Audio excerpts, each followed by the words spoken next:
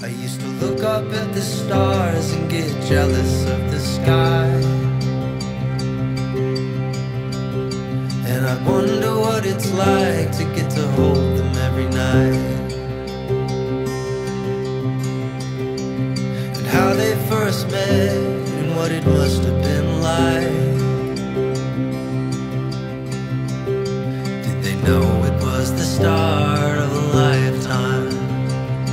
Been one year of living in a caravan with our family, travelling on the road around New Zealand. It's a beautiful destination and a traveller's dream, and we get to call this place home. What makes New Zealand so special is the diversity of the landscape and the low population.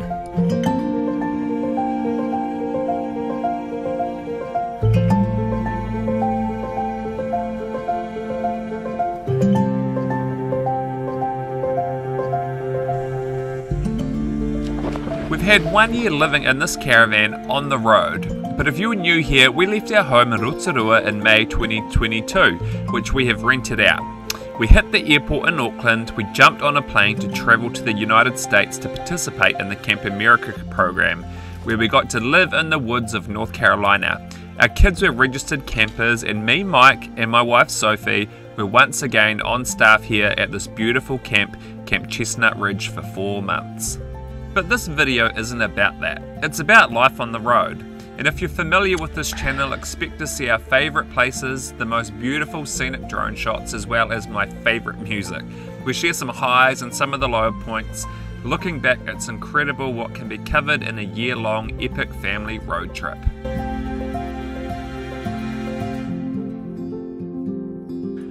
Van life is very much glamorized online, and we've tried to show you what real life full time travel looks like. You don't really hear too much about how much you'll miss your families and your friends. For us, it's been a year since we have seen some of our closest people. The sun doesn't always shine when you're camping, and sometimes the wind is the destroyer of fun times. Or how your caravan can be soaked with condensation and your clothes start growing mould or sometimes it's just so muddy and wet right at your doorstep. Just getting to be on the road was hard work, saving money, working extra, renovations on the house, selling our possessions, and throwing things out. But now that's behind us and we are living this life, it feels like it's been a small cost to pay. To have all of this time with our children making memories that will be with us for the rest of our lives, we've also met some incredible people while we've been out on the road. Some of them have helped us out a lot, especially when we were struggling with solar power on those short winter days. We've loved being able to stay in our favourite places a little longer because our time is ours and we simply can. We've gone to places we wouldn't have because normally we just wouldn't have the time. Time is one of the best things about this lifestyle, something we felt we had not much of before this great adventure. But before we get into these campsites, if you have some questions about this lifestyle, kids on the road, money, caravans, motorhomes, fire your questions down in the comments and we'll answer every single one. When we arrived home to Aotearoa, New Zealand in September last year, we were straight into the caravan. We had to fill in some time as Soph had a knee surgery booked in, which required some recovery time for a couple of weeks. But then we were off on the road living the free life, living off saved money from work and positions that we had sold, hoping that we could stretch out our money for as long as we could, or at least until Christmas 2023. Life on the road came pretty easy for us. We've always been campers, and all our kids grew up camping in tents from babies. We knew some of the struggles that we'd face when we left. We'd have multiple days of bad weather. But our kids were our main worry, worried if this was actually the best thing for them. Pulling them out of a school they love going to, taking them away from really good friends they'd grown up with, as well as the social interactions that they have at school. Was this life on the road experience really in their best interests? Well, it took some time. We had many moments, and we still do, where homesickness or friendship sickness pops up. We'll look forward to catching up with all our people likely in February when we return to the North Island. I can now confirm that our kids love living in the caravan, they love doing correspondence school with their online teacher at Te Kura, and their education is going well. Life on the road has brought out all their creativity. Sometimes their made up games go on for days. They tackle challenges like champs, and this has really boosted their confidence. They are great at making new friends when there are other kids around to play with, and they have no problem talking with adults or older people that we meet in campgrounds, which is very encouraging to see. Leaving Rotorua with the whole summer ahead and our bank account filled, one of our first stops was Ohope Beach, which has some great freedom camping options. So, staying in camping grounds has not really been an option for us. The average overnight stay in a holiday park would be around $80 a night for our family, and our caravan is very well equipped for off grid living, which is why we purchased this style of caravan. Our trip would have been over very quickly if we were paying those prices. The whole way along, we've seeked out the free options, the DOC camps where we can use our yearly pass, and staying with NZMCA members on their private property, which normally is around $10 a night. From Ohope Beach, we followed the stunning coastal road along the East Cape, a remote and wild wilderness, filled with stunning beachfront campsites that cost you nothing to stay at. They even had some random dump station tanks at these free sites for disposing toilet cassette waste.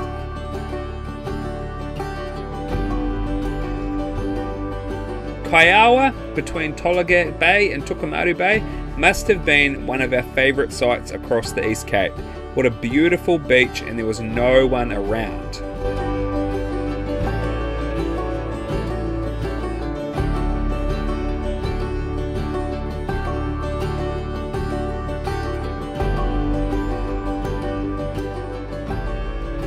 East Cape has been hammered with storms over the last summer.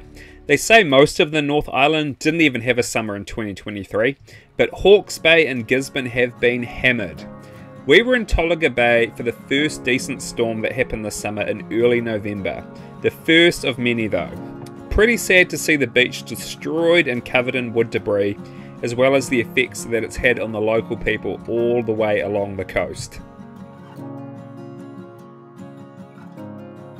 After a really big grocery shop and meeting another full time family in Gisborne, we departed for the Mahia Peninsula, a place that none of us have ever been before. We didn't realise that our braking system had never been calibrated with our truck, and as we descended a really big hill out of Gisborne, we realised that our caravan brakes were not working. And we were fully loaded with groceries and water. This was pretty scary for us as the truck brakes was smoking as we were going down the hill and there was no way that we could have stopped if we wanted to in an emergency. But this was simply resolved by calibrating and we got to enjoy Mahi at this beautiful free camp at Opoutama.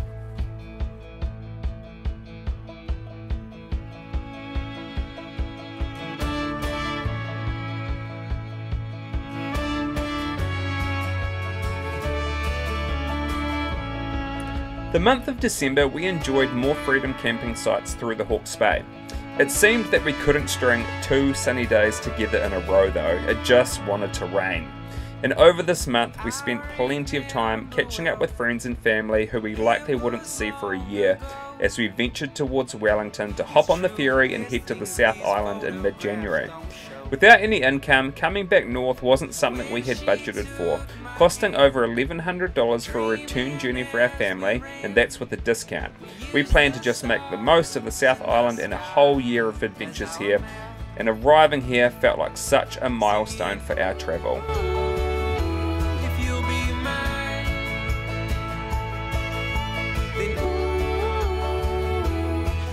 We booked our crossing to the South Island for mid January, as generally the first two weeks are when campgrounds are at their busiest, and finding a campsite might have been an issue for us. Whites Bay was our first stop for the South Island, and Toby still ranks this as his number one camping site. He loves the walks, the beach was safe, gathering mussels, there was a creek right next to our caravan. This was a great start to the South Island.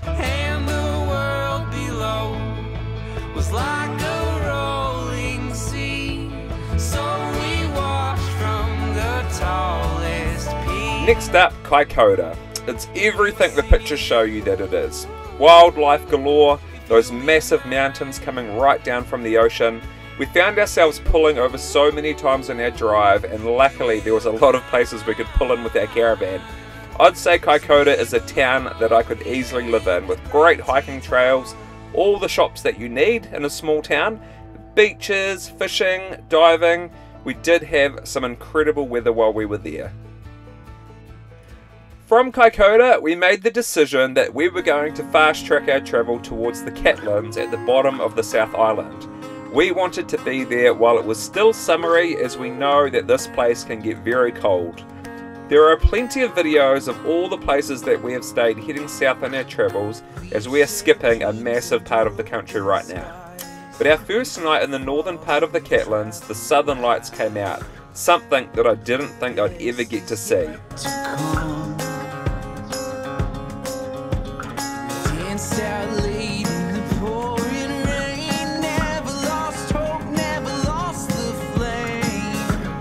Now the Catlins aren't quite what I expected.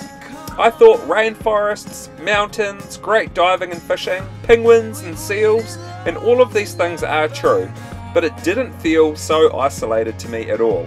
There is a lot of farmland around and hills.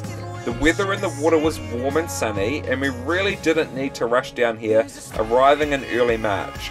We spent just over two weeks in the area, and water and places to empty our tanks was a challenge in this area.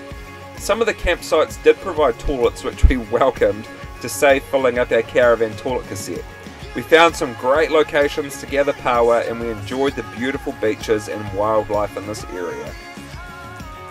Oh, and did I forget to say we also got to swim with dolphins, which is one of Jade's most favourite animals, so this was a very memorable moment for us all, and a great way for us to finish off our time in the Catlins. The next spot, Cascade Creek, this place just blows my mind in the Eglinton Valley. If you haven't seen the video of this spot, I'm going to check a link up the top, it's well worth a watch.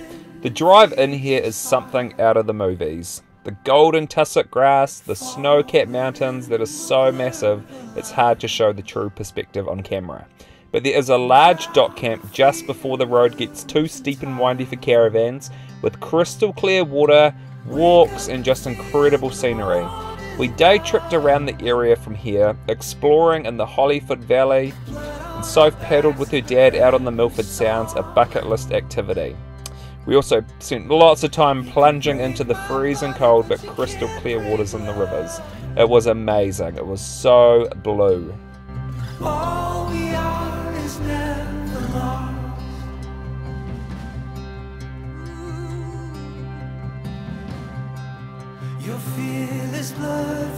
Central Otago, renowned for being a spectacular place for its scenery, but we also wanted to witness the autumn colours. With not so much native forest around this part of the country, it transforms in the autumn from green leaves into beautiful orange, yellow, and red during April and May. Autumn is Sophie's favourite time of the year, watching the colours change. And Central Otago also has some great freedom camping spots around the dammed rivers and the lakes, and this makes it pretty easy to be able to stay in the area because there are so many options. It's also renowned for its sunny, dry weather as well.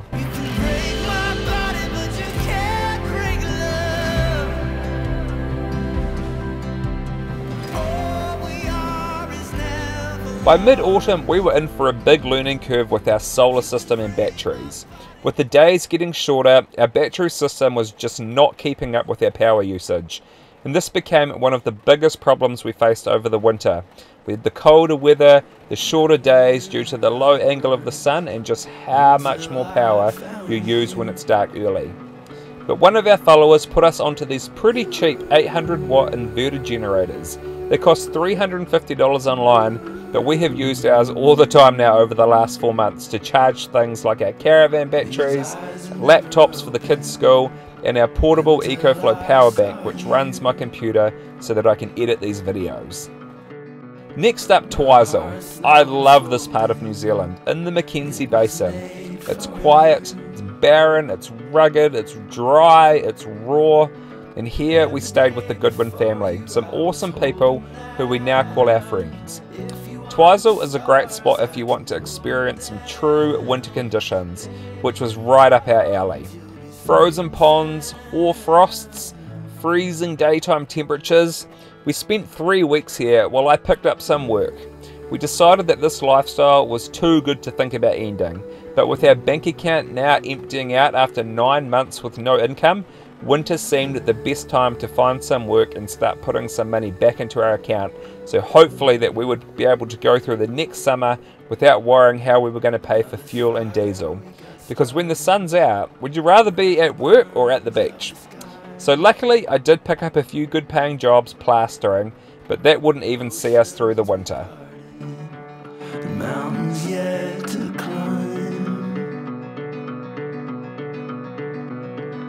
Every day before you, I was holding out. If you want the stars, I can pull them down. Baby, in my arms, you'll be safe and sound. Not far from here, at Aoraki Mount Cook, New Zealand's biggest mountain, we had incredibly sunny blue sky days to explore more frozen lakes. The kids all wanted to walk on a frozen pond or lake, but me and Sophie were a bit hesitant to let them wander out on the ice because New Zealand's not really known as an ice skating country. But up at the Sealy Tarns, a bit of a climb up, we found the mountain pond or the tarn frozen solid. The kids were so happy up there, skating around. This place is so well set up for families, with loads of different walks and places to explore. There's also a really good internet here.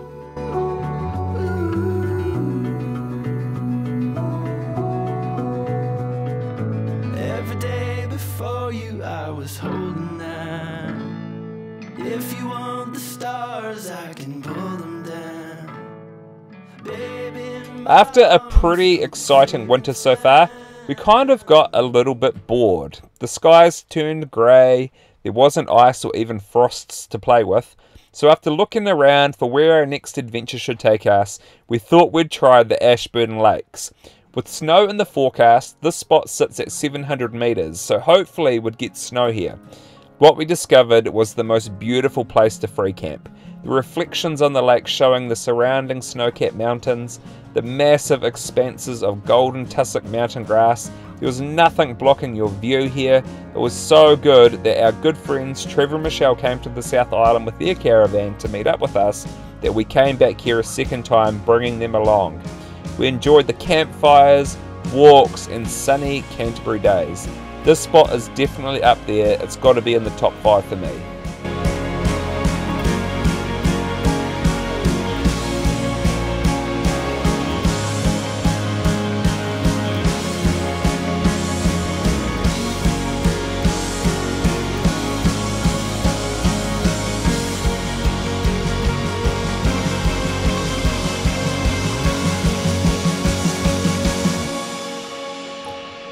Start a major trip like this, where you plan for several months or a year or so away, you have a bucket list of things you want to do, places you want to visit, and experiences you want to experience. For us, one was getting snowed in. Being North Islanders, this is pretty hard to achieve, although not impossible, but the South Island presents lots more opportunities for this. And after a bunch of failed attempts to get snowed in, we knew the Lewis Pass was notorious for snow closures.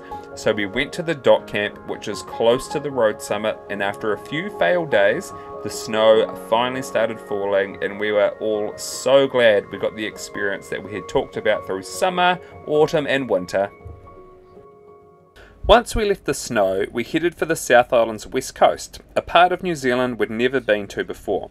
It was noticeably warmer on the coast, which meant we were back in shorts and t-shirts in the daytime, even though it was August. We stopped off at the Gentle Annie campsite after being told by many people this spot can't be missed. We really enjoyed our stay at this spot and we loved the pizza oven and all the activities we could do on site and they do a pretty great weekly winter rate of $115 a week on a powered site for two adults for seven days, and kids are an extra two bucks a day or $14 a week. Being here also saw the next lot of income for us as there was plenty of renovation work required in the bookable beach accommodation. This meant we were able to add some more funds towards summer travel.